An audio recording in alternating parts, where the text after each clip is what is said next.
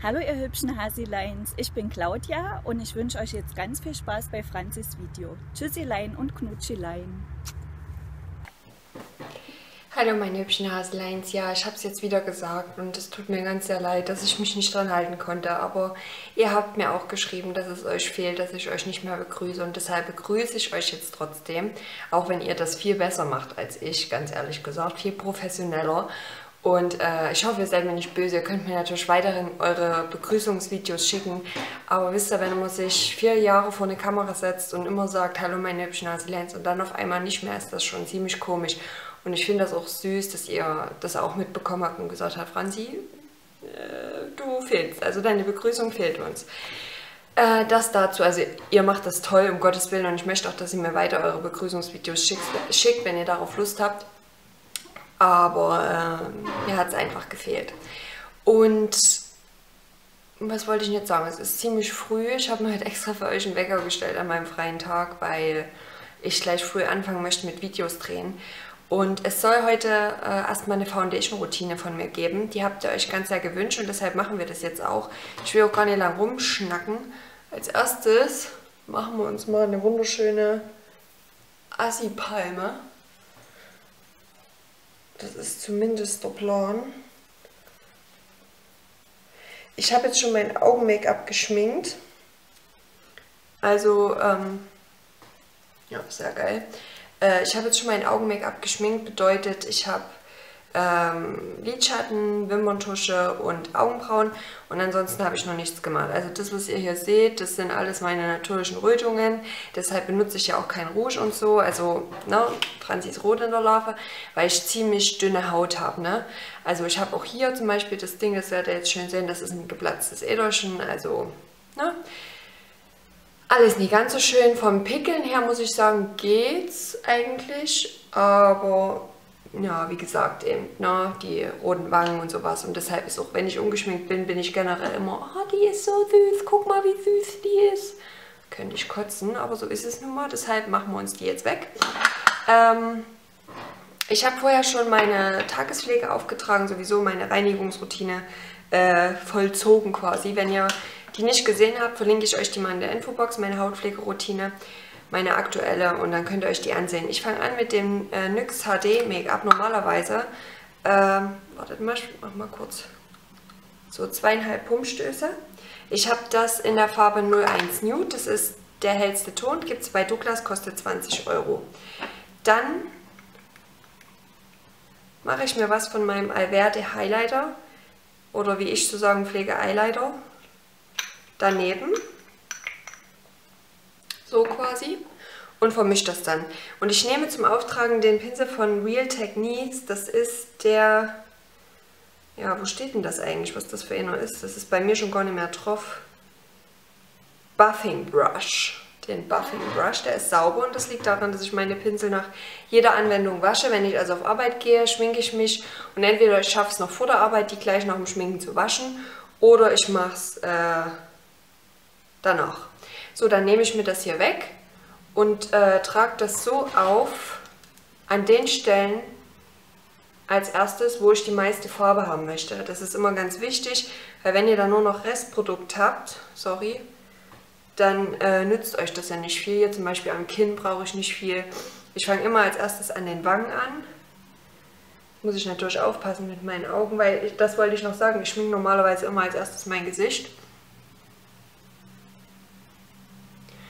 Und dann meine Augen. So, jetzt nehme ich hier mal noch den Rest ab. Wir wollen nicht verkommen lassen, ne? Das, äh, darauf müssen die Ossis immer ganz sehr achten. Es wird nicht verkommen, es wird alles noch wiederverwertet. Den Rest gibt es dann morgen zum Mittag. So, äh, ich tue das jetzt erstmal so einbuffen quasi.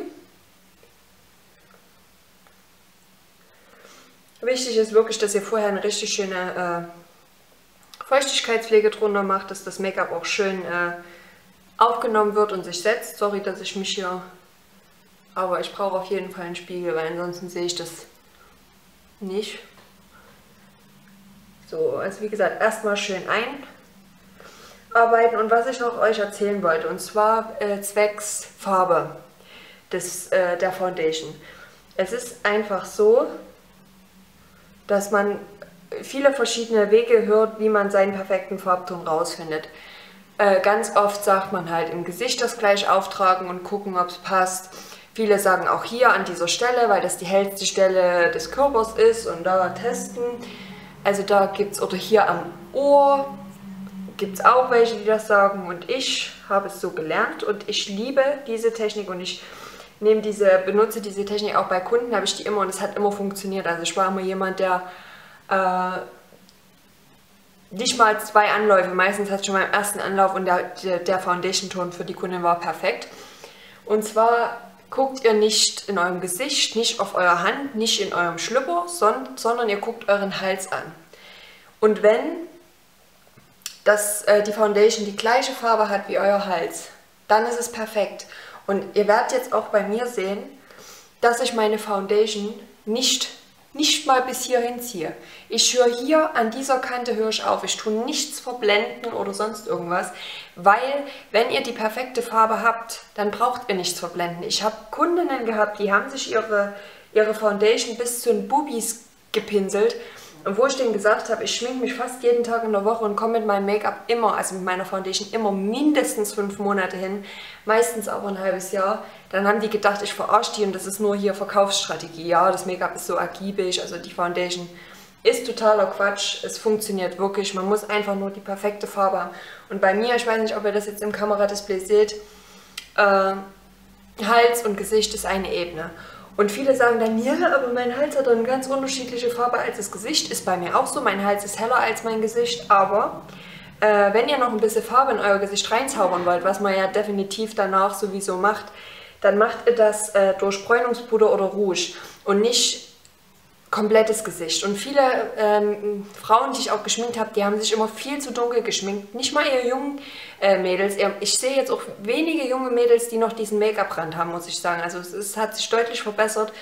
Aber gerade bei älteren Frauen, ich sage mal so 50 plus, ganz schlimm. Und wenn ich dann die richtige Farbe für die ausgewählt habe, war erstmal so, wo ich jetzt den Schritt hatte, wie weit ich jetzt bin, ich sehe aus wie eine Leiche, übelst blass und so.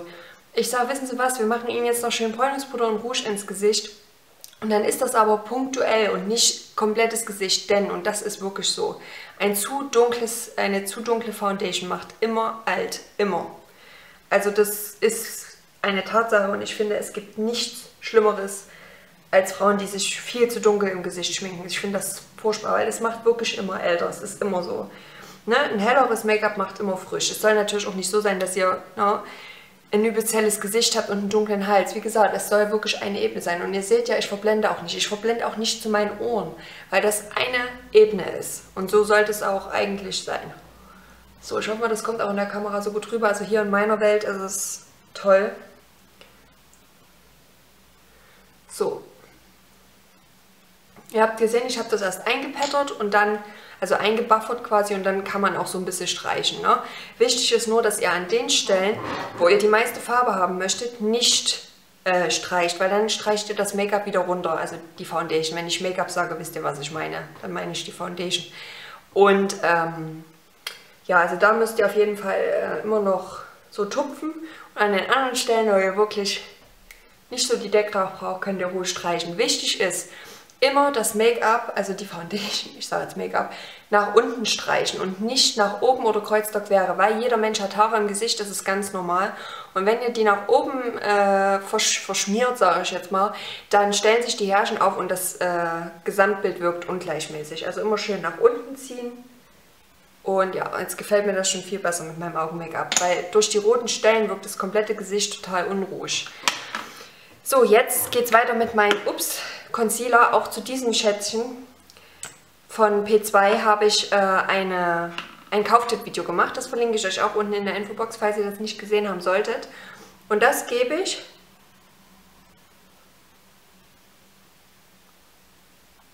einfach großzügig aufs Gesicht.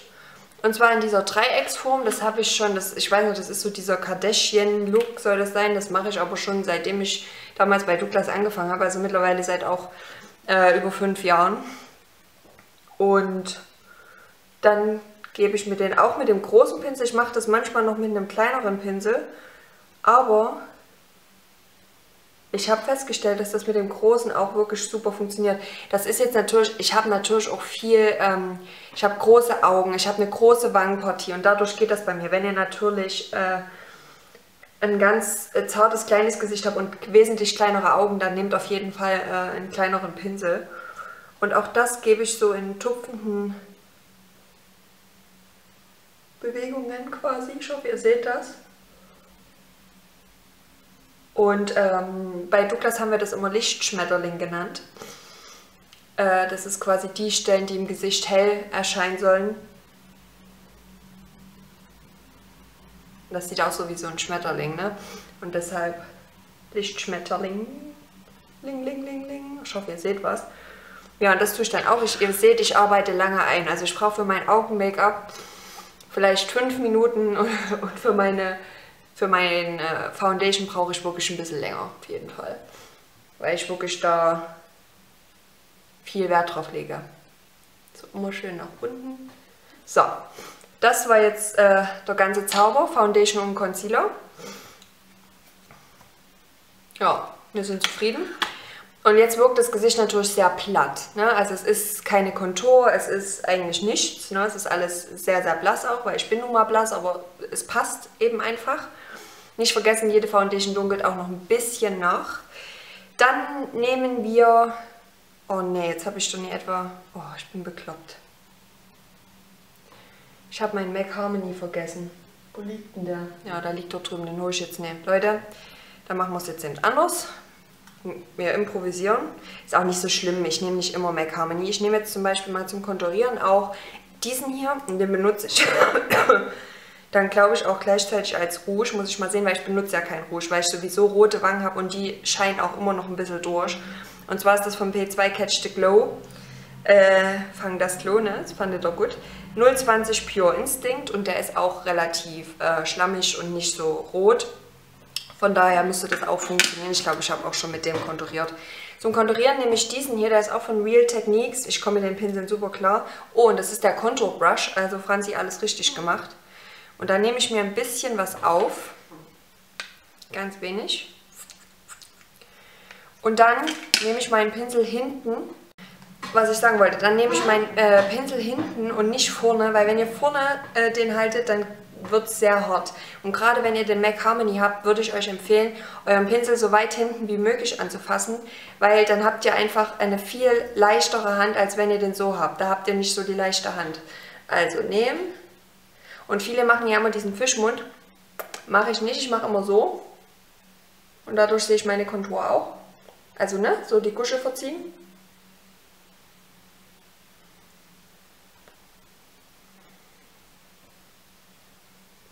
Das verblende ich dann noch ein bisschen hoch zu den Schläfen. Und ihr werdet jetzt schon feststellen, Franzi, du benutzt Puder, Konturpuder auf nicht abgepuderter Haut. Jawohl. Das ziehe ich dann auch mir schon ein bisschen hoch, weil, also quasi bis, also auf keinen Fall weiter runter, aber schon ein bisschen höher mit, weil ich benutze das äh, gleichzeitig noch mit als Rouge, habe ich mir gerade spontan so überlegt. Und jetzt seht ihr hier auch schon, also ich bei mir sehe das, diesen Glow von diesem Alverde Highlighter, ist absolut geil. Und ich nehme da lieber immer mal noch ein bisschen nach. Bei dem hier, bei diesem P2, könnt ihr ruhig den Pinsel weiter unten anfassen, weil der ist nicht so äh, zickig wie MAC Harmony.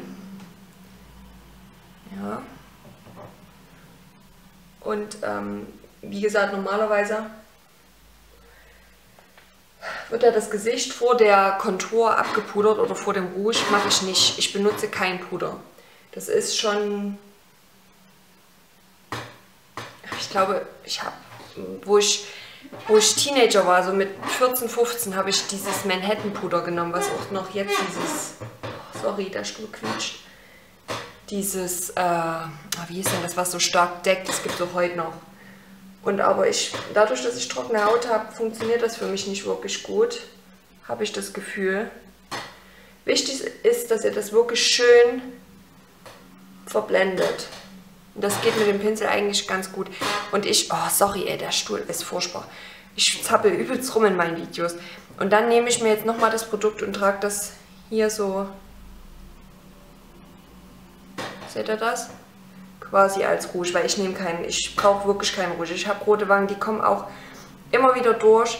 Das, äh, die Foundation von NYX, ich habe auch ein Foundation-Video gemacht, in dem ich meine drei liebsten Foundations vorstelle.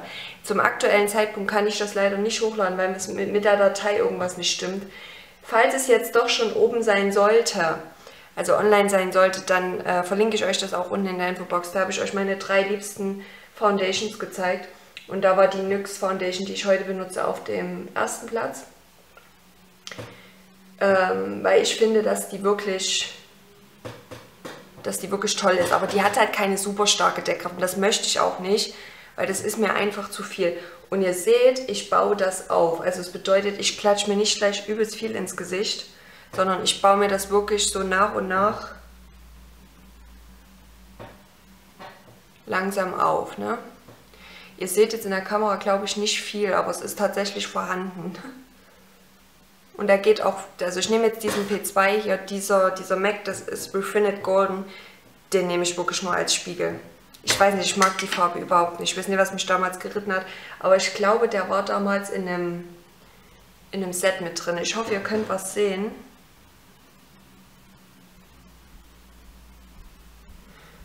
So.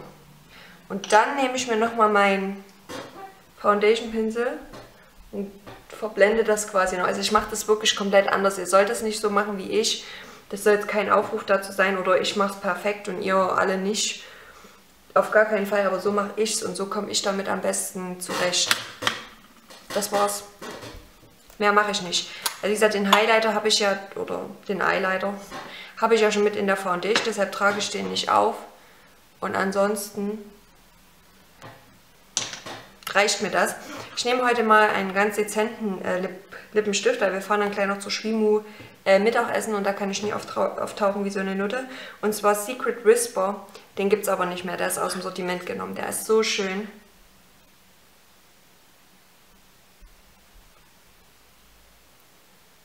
Und hat zurzeit wieder ganz trockene Lippen.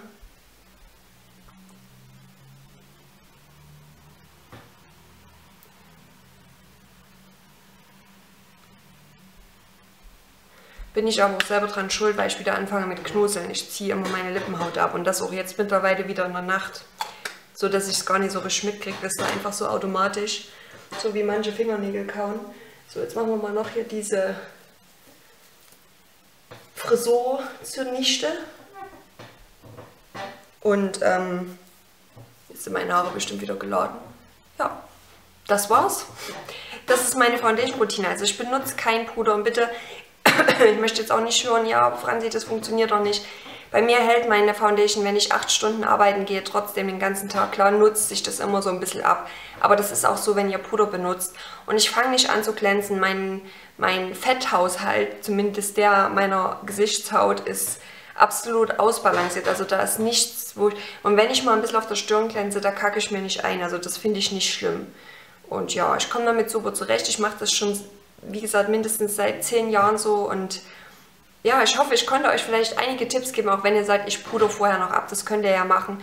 Aber gerade mit der Foundation, wie gesagt, ihr seht, ich äh, trage die Foundation wirklich nur bis hierher auf und ich habe keinen Rand. Wirklich keinen Rand. Also ich hoffe mal, ihr seht es auch. Ich hier habe wirklich nichts von einem Rand und so sollte es auch sein. Und ja, ich hoffe, das Video hat euch gefallen. Ich ähm, würde mich darüber freuen, wenn ihr mir schreibt, wie ihr das macht. Ob es vielleicht noch irgendjemand da draußen gibt, der auch kein Puder und auch kein Rouge benutzt. Das würde mich mal interessieren. Und dann würde ich sagen, bis zum nächsten Video. Und ja, ich habe euch lieb, meine Süßen. Macht's gut. Tschüssilein und Knutschilein.